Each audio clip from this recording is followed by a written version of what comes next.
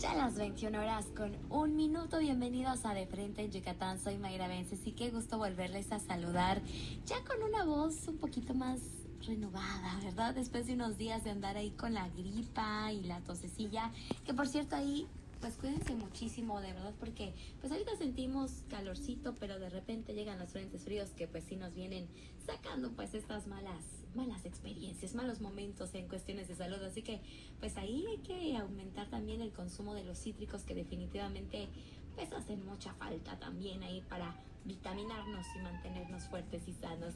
Oigan, qué gusto que nos estén acompañando en este jueves 23 de febrero, pues ya aquí a través del 96.9 de su FM y sobre todo porque el día de hoy vamos a tener un gran invitado con un tema que ya sabe que aquí nos encanta hablar sobre temas ambientales y bueno, este siendo de alguna, pues tal vez no es algo que tengamos muy cercano porque no es un contexto del que vivimos, pero sí nos podemos ver muy reflejados por todos los ecosistemas que en la actualidad tenemos y que tenemos que seguir preservando aquí en nuestro Yucatán.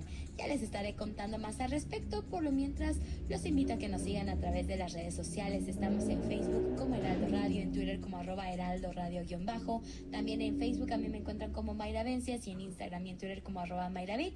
Por supuesto que si se quieren comunicar con nosotros lo pueden hacer a través de nuestro WhatsApp en cabina 9999 24 75 76 9999 24 75 76. Y bueno, ya hemos platicado sobre la gran biodiversidad. Pues, ¿Qué está pasando en otras partes del país al respecto del cuidado de, de, estos ecosistemas?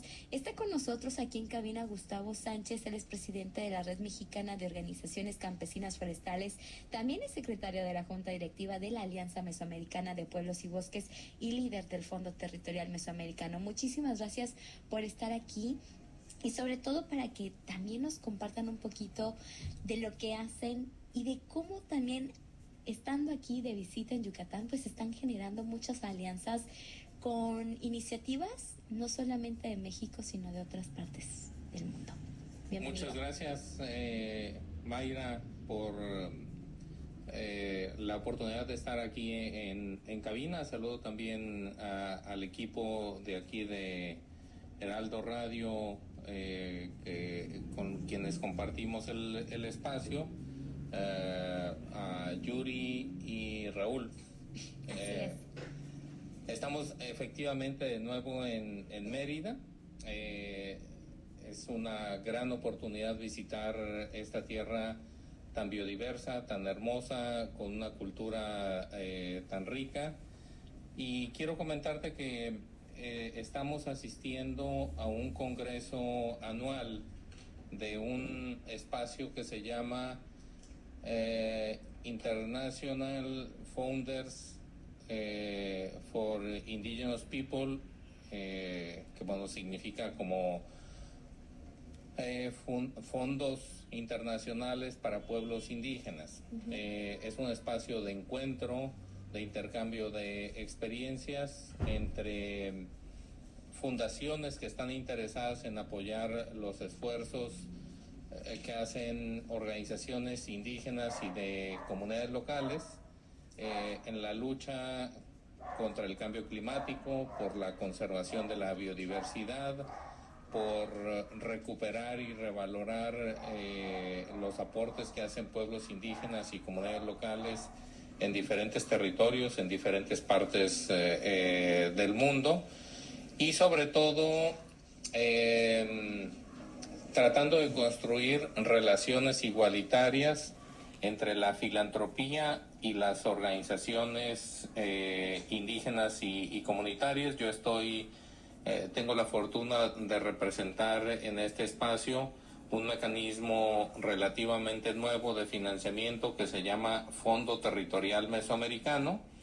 y que es una visión nueva respecto al tema del, del financiamiento y que me gustaría compartir con ustedes. Claro, primeramente a mí me gustaría que, que nos platiques un poquito, ustedes específicamente aquí en México, ¿en dónde están trabajando y dónde tienen una incidencia directa? Mira, nosotros somos una red de organizaciones comunitarias, no eh, asociamos personas, sino colectivos.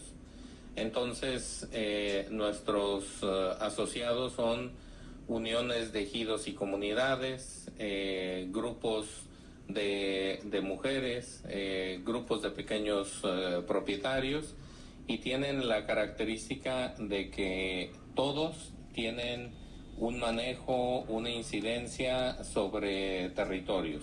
Y estas organizaciones pueden ser eh, de pertenecientes a pueblos indígenas, pero también pueden ser eh, lo que se llama en el argot internacional comunidades locales, es decir, colectividades que participan, eh, que tienen territorios, que tienen manejo de recursos, pero que no son indígenas, aunque creo que todos asumimos nuestro pasado indígena con, mucho orgullo. La mayor parte de los mexicanos creo que tenemos, eh, eh, digamos, eh, sangre indígena. Sí.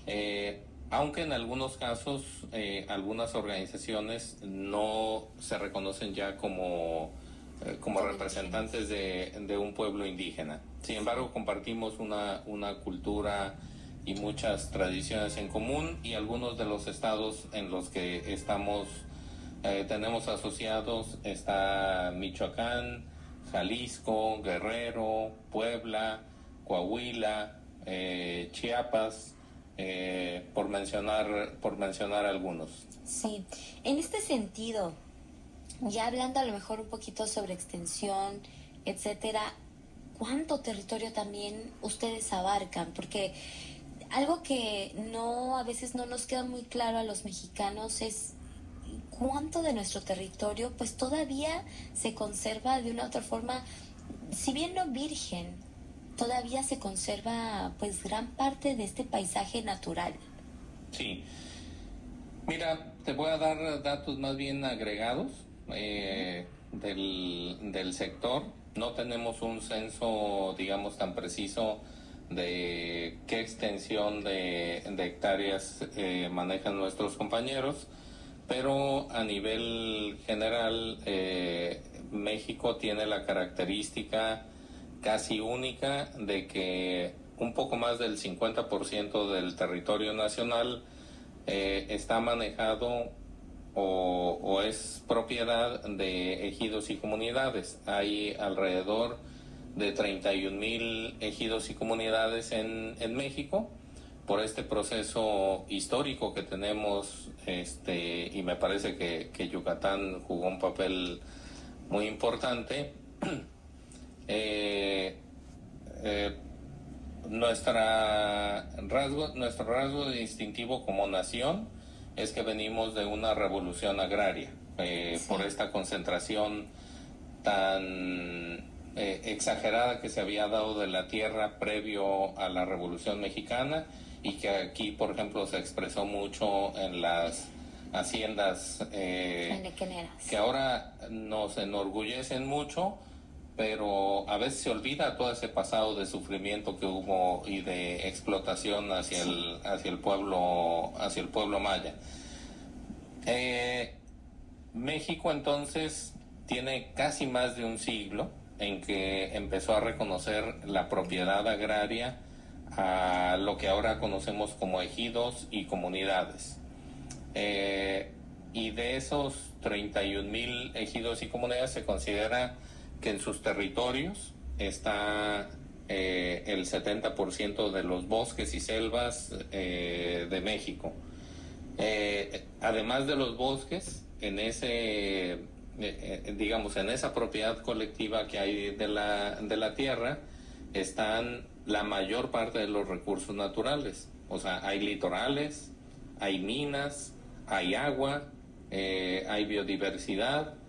Entonces, eh, los, los recursos de los um, que hay en esos territorios son por lo regular muy presionados por, eh, digamos, intereses externos, a veces legítimos, a veces no tan legítimos, pero que muchas veces no toman en cuenta eh, lo que realmente quieren las comunidades para hacia el, hacia el futuro. Y es muy común que se impongan proyectos de desarrollo, eh, entre, entre comillas el, desarrollo, y que es muchas veces una visión desde fuera, eh, no desde lo que realmente quieren los, los ejidos y las comunidades. Y en este evento, por ejemplo, de financiamiento en el que estamos, se trata de poner en el centro que las prioridades para el financiamiento las pongan las propias comunidades y no alguien que a lo mejor de muy buena fe, pero realmente desconociendo lo que real, lo que quiere la gente. Claro, que, que aquí también se pone un punto muy importante en la gobernanza, ¿no? Y en la generación también de estos modelos participativos de las mismas comunidades que de una otra forma han sido los que han habitado esas zonas durante décadas, años, siglos, ¿no? Yo diría, y que también conservan un, un legado eh, histórico, natural, y, y que creo que platicábamos también mucho eh, sobre esta situación de que si bien a lo mejor no todas las personas que están involucradas se identifican como indígenas, traemos ese pasado y de una otra forma es algo que sigue estando presente. Gracias por continuar con nosotros, Gustavo. Y bueno, ya platicábamos en esta primera parte de De Frente en Yucatán, pues sobre estos temas que tienen que ver mucho sobre cómo las comunidades incluso se han ido organizando, teniendo en cuenta este contexto agrario que comentas, que bueno, venimos desde pues digamos de una explotación, de una esclavitud incluso de nuestros antepasados que pues tuvieron que trabajar el campo, los bosques, los recursos naturales para pues estas personas que tenían justamente el poder y cómo hoy en día pues también con las diversas reformas que se han hecho en nuestro país, pues ya las mismas comunidades pueden aprovechar de manera sustentable también todos estos recursos que al final de cuentas están en los territorios que por generaciones han ocupado. Y justamente en este sentido, tú ya nos dabas algunos datos pues de que es muy importante que obviamente todos los que nos están escuchando lo sepan, cómo eh, en estos eh, estas propiedades ejidales que hay alrededor de, de 31 mil en nuestro país, pues ahí se concentran el 70% de, la, de los bosques y selvas de nuestro país, ¿no? Que pues prácticamente es, es, es una cantidad importante y que resguardan una gran biodiversidad de nuestro país. En este sentido, bueno, ya platicabas un poquito sobre cómo a veces pues llegan personas externas a querer pues imponer ciertos modelos, ¿no? Y cómo es también muy importante que haya una participación de las comunidades para construir estos modelos, para que justamente se aprovechen de una manera más amigable también, pues todos los recursos que ahí se concentran. Sí, eh, efectivamente, Mayra, y un saludo a todo tu auditorio. Esperamos que estos temas les sean de, de su interés. Mira, hay un, el concepto de desarrollo eh, es uno de los conceptos que se conocen como hegemónicos porque todos lo tenemos en la cabeza como algo natural. Eh, y todos creemos que el crecimiento perpetuo es eh, algo algo que todos debemos de, de buscar.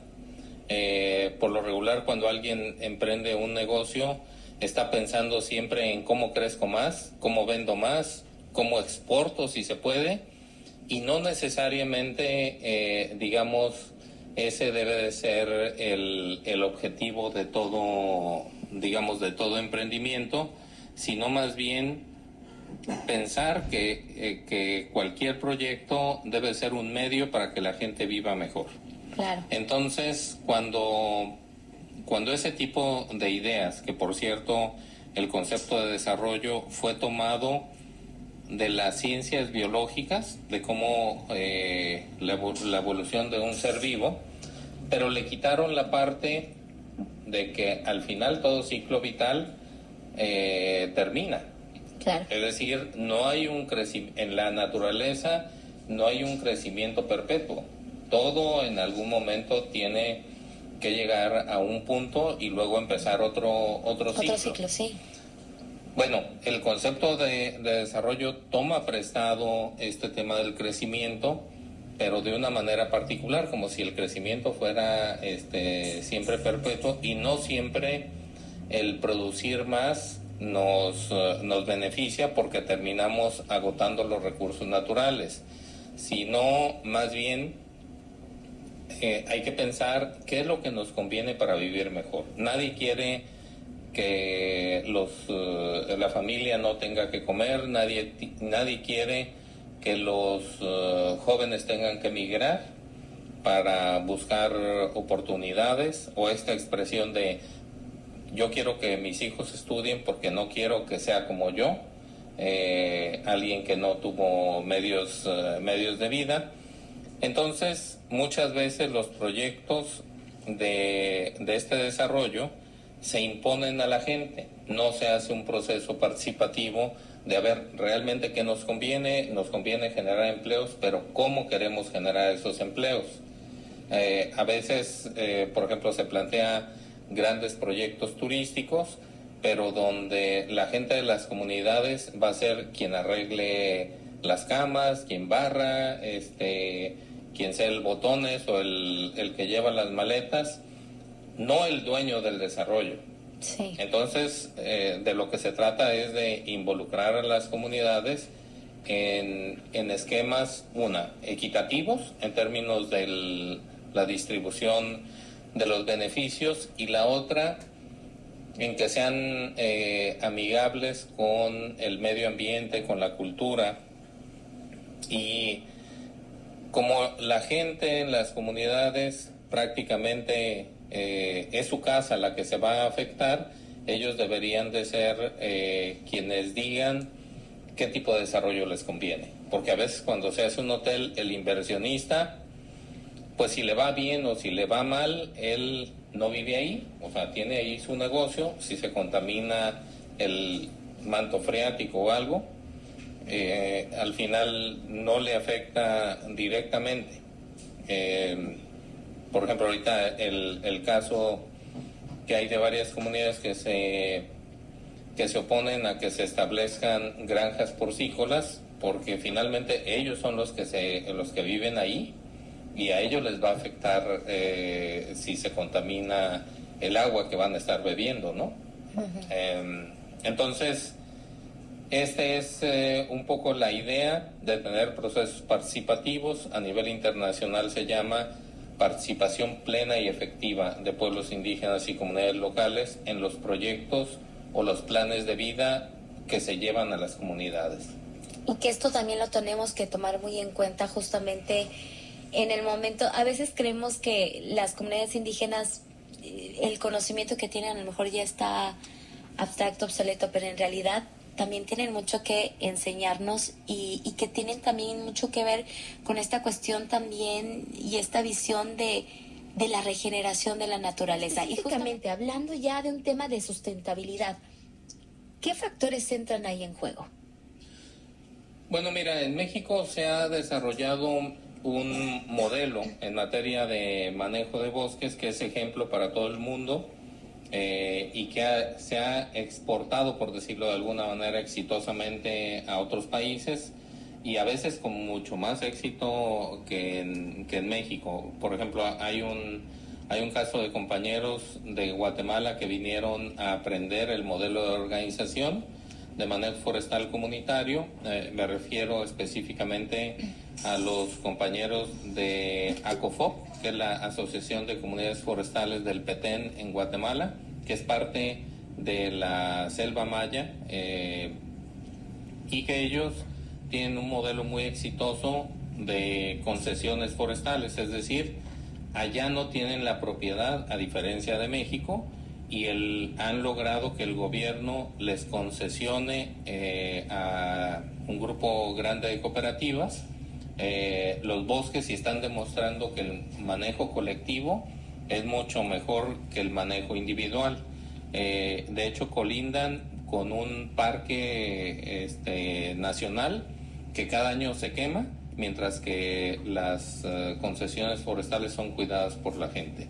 Entonces, este modelo de manejo forestal comunitario se desarrolló en la década de los 80 porque el, a pesar de que la gente tiene la propiedad de la tierra desde hace varias décadas, desde hace muchas, eh, el control de los bosques se les reconoció relativamente hace poco. Eh, hasta antes de los 80 en muchos lugares el gobierno había concesionado a empresas privadas el, el, aprovechamiento, que era más bien explotación de los, de los bosques. Y bueno, se dio un proceso de descreme porque las empresas sacaron prácticamente lo mejor eh, en el menor tiempo posible. Y bueno, finalmente las comunidades se organizaron para recuperar o para tener que se le reconociera el control y la propiedad de esos, eh, de esos bosques. Y entonces hay una organización de, por asambleas donde se toma la decisión de hacer manejo o conservación o la orientación que se quiera dar a los bosques. Se contrata a un ingeniero forestal o algunas eh, comunidades ya tienen sus propios eh, hijos de ejidatarios que se preparan, salen a estudiar, regresan y son los técnicos de sus, de sus comunidades. Ese programa de manejo forestal trata de extraer del bosque menos de lo que produce anualmente. O sea, el, bosque puede crecer, no sé, 5 metros cúbicos por hectárea. El programa de manejo debe extraer solo eh, un porcentaje que no ponga en riesgo el, bosque. Eh, y en muchos casos tenemos casos de comunidades que están incrementando sus bosques lejos de deforestarlos, creando una, los medios de vida para la gente. Ahorita comentabas esta situación, eh, por ejemplo, de los incendios forestales, de la tala ilegal incluso de ciertas especies de maderas, de árboles que son muy preciados también en el comercio de, maderas. ¿A qué se enfrentan justamente estas comunidades? Bueno, mira, el tema de incendios forestales se relaciona mucho con que no existe el suficiente manejo de los bosques. Eh, para que haya un incendio forestal se requiere que haya suficiente material combustible, que es lo que podemos controlar desde el punto de vista de, la, de las personas, porque los otros elementos para un incendio son la existencia de calor y la existencia de, de una chispa y bueno, la presencia de, de oxígeno, pero lo, eso no lo podemos controlar, siempre va a estar ahí. Lo que sí podemos controlar es la cantidad de combustible que existe. Y conforme tenemos el fenómeno del cambio climático, cada vez somos más vulnerables a los incendios forestales. Y ahí entra también el conocimiento indígena y comunitario de ver al fuego como un elemento del ecosistema y no como un enemigo. Eh, algo que muchas veces se desconoce es que el fuego puede ayudar a algunos ciclos de vida de las plantas. Hay plantas que requieren del fuego para completar su ciclo de vida, pero hay que saber manejarlo. La gente tiene que seguir transmitiendo los conocimientos de cómo se hace una adecuada quema agrícola, bajo qué condiciones, en grupo para que no se, se escape el, fuego a determinadas horas, conocer el, viento. Y eh, eso, mientras se pierda el trabajo comunitario, también se va perdiendo ese conocimiento del, manejo del fuego. Pero en, en síntesis yo diría que si invertimos en manejo forestal, el manejo forestal nos va a ayudar a prevenir este, los incendios y a que el fuego nos ayude eh, a que ese ecosistema permanezca en equilibrio. Claro. Oye, y por ejemplo, ya hablando de cuestiones que tienen que ver con el cambio climático, ¿qué situaciones están poniendo en riesgo también a estos ecosistemas? Digo, sabemos las COP que cada año se realizan, específicamente en la COP27 que se realizó el año pasado en noviembre en Egipto, pues ahí se hablaba muchísimo sobre el tema de pérdidas y daños que tiene que ver con pues, los fenómenos hidrometeorológicos que afectan pues a prácticamente todo el mundo y que en México desafortunadamente pues cada año sufre los embates de la naturaleza con fenómenos cada vez más fuertes. Aquí en Yucatán lo hemos vivido en los últimos años también, como a veces incluso las mismas temporadas de lluvia pues arrasan con incluso los cultivos de agricultores que bueno, ahí invierten prácticamente todo, todo su capital que tienen para invertir al año, por así decirlo, y que ha sido una pérdida catastrófica, ¿no? Y que también hace falta estos fondos que también son muy importantes y que tienen que ver justamente para estos, digamos, fondos de auxilio que incluso en nuestro país desafortunadamente, pues con el paso de los años también se han visto no solamente disminuidos, sino también desaparecidos. Sí. Bueno, mira, eh, son acciones a diferentes niveles. Este, y retomando lo que señalabas hace rato, por ejemplo, a nivel de política forestal eh, de México, eh, una de las cuestiones que necesitamos impulsar es eh, una legalización del mercado de madera. Eh, hay estimaciones que hablan de que tenemos un 70% de madera ilegal circulando en México. entonces, no podemos tener un manejo sostenible de los bosques si tenemos esos niveles de ilegalidad. Ahora, la madera no es algo que alguien se coma. La madera va a parar sobre todo a la industria de la construcción, va a parar a la industria de los muebles y a muchas obras de, gobierno. Em, en, esta, en esta administración, antes de que el presidente de la República fuera electo, hicimos un documento junto con quien iba a ser la secretaria de Medio Ambiente eh, que se llamó Naturamblo. Había unas, y se dio a conocer el Día Mundial de Medio Ambiente antes de la elección.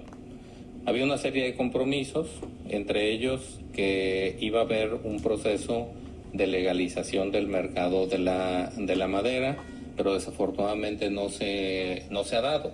Esto requiere incentivos para que las empresas empiecen a comprar solo madera de procedencia legal. Sí. Eh, esto probablemente va a traer un incremento en los costos porque presumiblemente se está comprando madera ilegal que cuesta un tercio de lo que cuesta la madera de la madera legal. Pero si queremos realmente ser congruentes con conservar los bosques, luchar contra el cambio climático, tenemos que tomar cada vez este tipo de medidas y ser congruentes con lo que están adoptando otras, eh, eh, digamos, en otras regiones, por ejemplo, la Unión Europea acaba de aprobar una legislación que prohíbe la entrada de productos que tengan una huella de deforestación. Eh, entonces tenemos que empezar a movernos hacia digamos, hacia ese tipo de, medidas y en México aumentar el presupuesto para el manejo de los bosques, que está en su punto más bajo de hace como 15 años.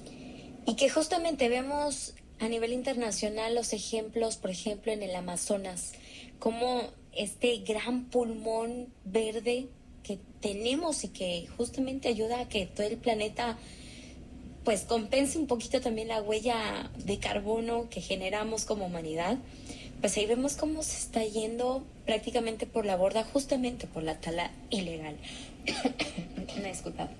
Ahí justamente también a través del WhatsApp nos preguntaban sobre estos puntos, ¿no? Ahí nos dicen, en el evento Biosfera que se realizó hace unas cuantas semanas, se habló de que mientras haya países que compran madera, hay tala de todo tipo, la, la legal y la ilegal. ¿Qué opina sobre este tema, ¿no? Ahí, por ahí nos, nos preguntan en el WhatsApp, que bueno, ya vino un poquito con, con tu respuesta. El, el, consumo de madera en sí no es malo. Eh, pero tenemos que tener una producción digamos, sostenible, amigable con el, con el ambiente.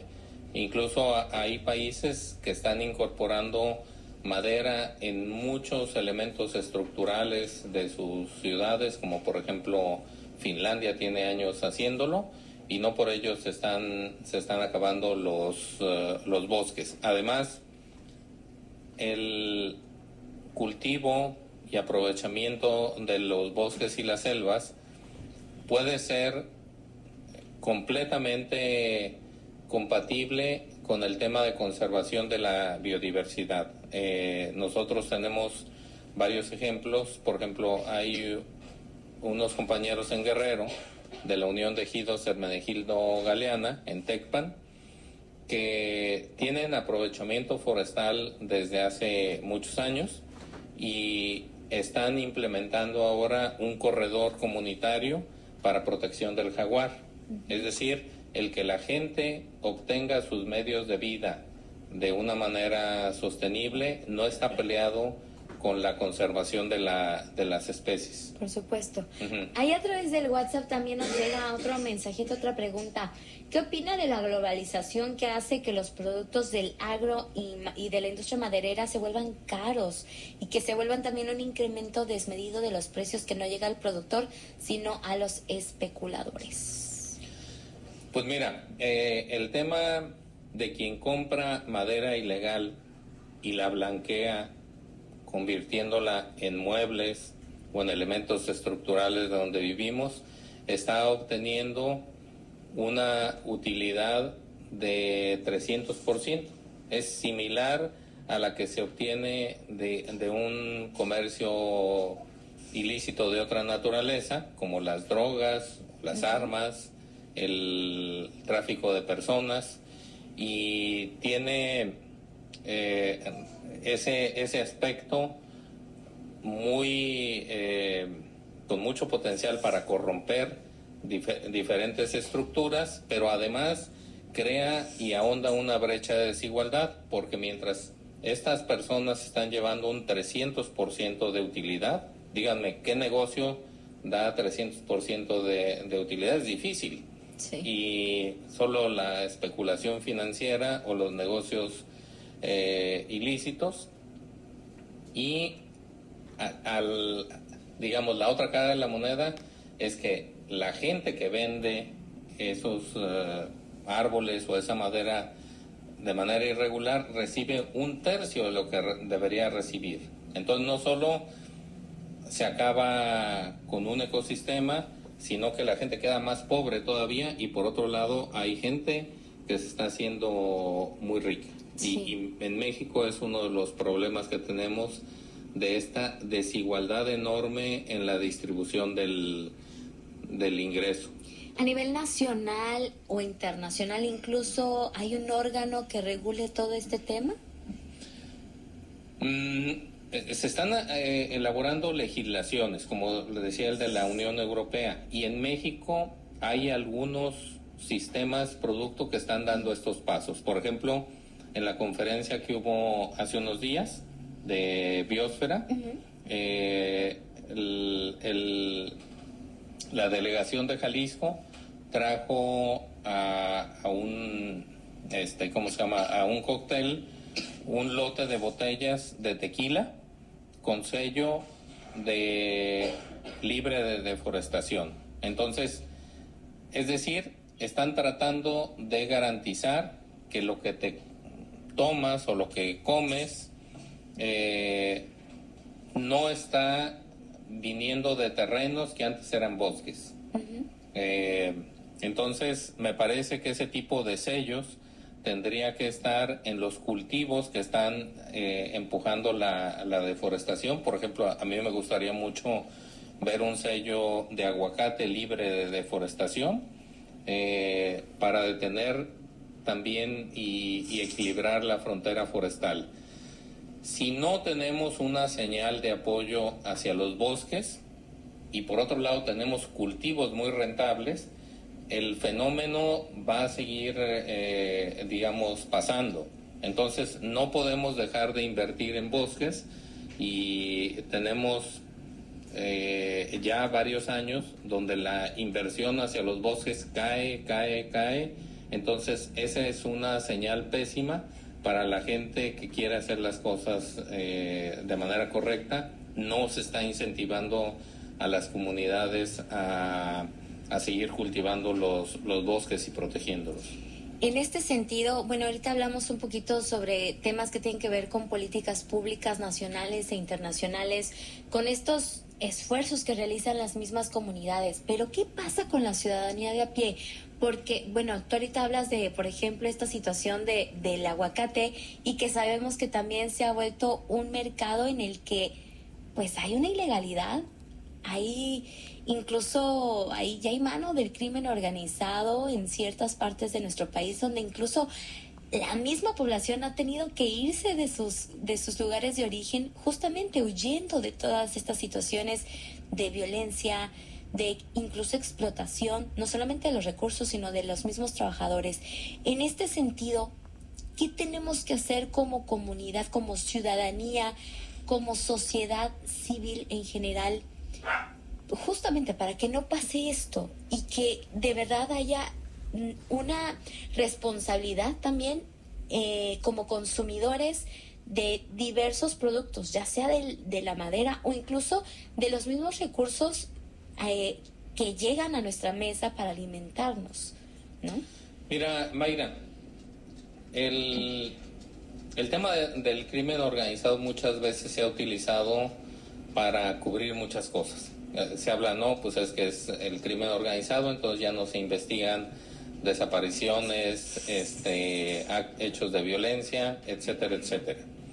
En el tema del cambio de uso de, suelo, eh, me parece que si bien el fenómeno del crimen organizado eh, exacerba esas condiciones, la verdad es que las políticas que están promoviendo el cambio de uso de suelo ya tienen mucho más tiempo de, que se nos descontroló el país con el, con el crimen organizado.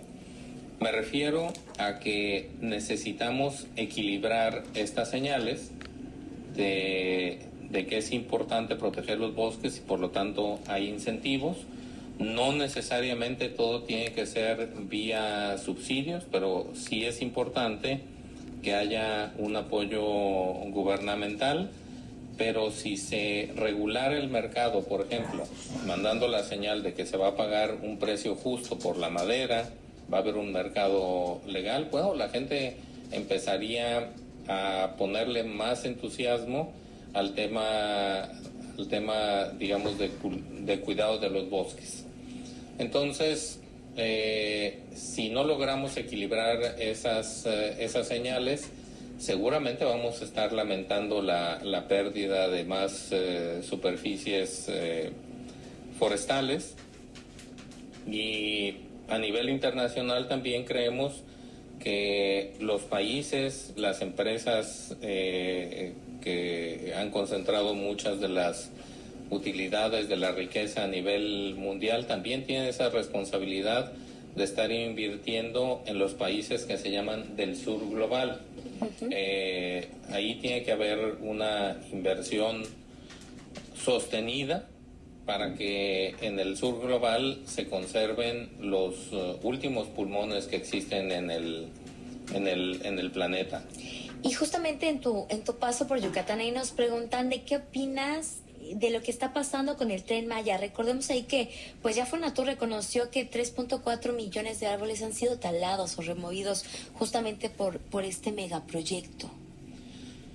Bueno, a mí me parece que hay varios elementos en el, en el, en el proyecto que son muy cuestionables. Uno de ellos es que los procesos de consulta no se dieron conforme a lo que se tiene en la contemplado en la legislación. Eh, hay estándares muy específicos a nivel internacional de cómo debe ser un proceso de consulta libre, previa e informada. Me parece que eso se saltó este, del, del proceso.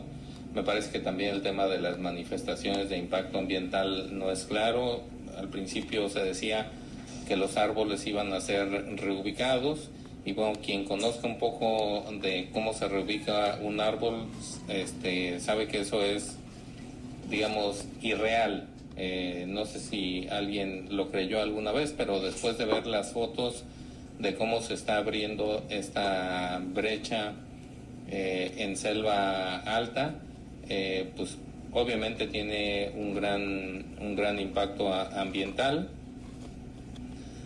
Por otra parte está el, el tema de las características tan particulares que tiene el acuífero, el suelo en, en la, península, De, de, Yucatán, que bueno, hay, hay gente que cree que eso va a ser un, un desastre.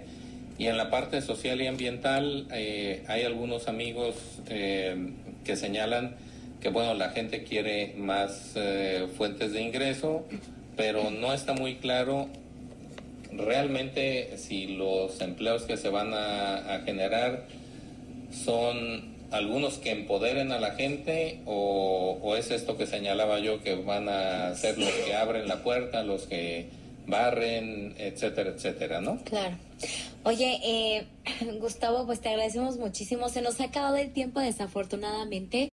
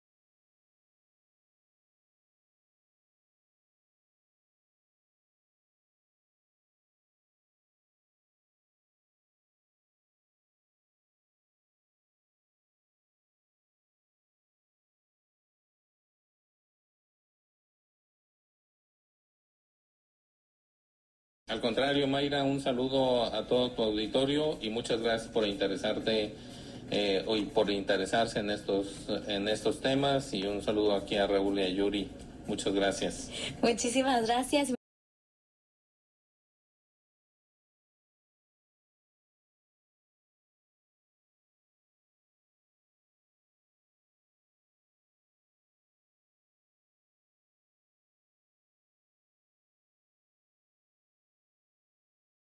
Heraldo Radio 96.9 de su FM de Frente a Yucatán, aquí conmigo, Mayra Vences. Qué gusto que nos haya acompañado en este jueves.